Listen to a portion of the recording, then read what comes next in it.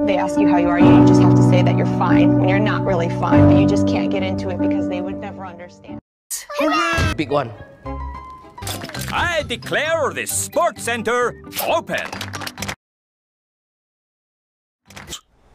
You are the fucking idiot of the family. I've received an envelope full of drawings. This picture from Peppa Pig is my favorite. Mmm, looks like Daddy Pig needs some exercise. Eh? What?